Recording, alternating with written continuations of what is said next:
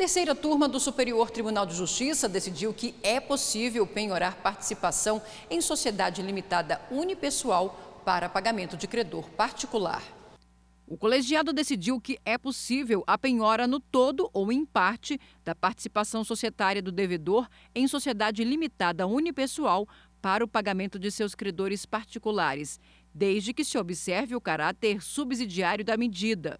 De acordo com o processo, em uma ação de execução extrajudicial, foi determinada a penhora de cotas sociais de uma sociedade limitada unipessoal pertencentes ao devedor. O juízo entendeu que o executado havia transferido todo o seu patrimônio pessoal à sociedade, ficando sem meios para a satisfação do crédito.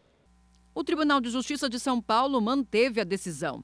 No recurso especial dirigido ao STJ, foi sustentada a impossibilidade de penhora das cotas sociais do titular da empresa, sob o argumento de que esse tipo societário não permite a divisão do seu capital social.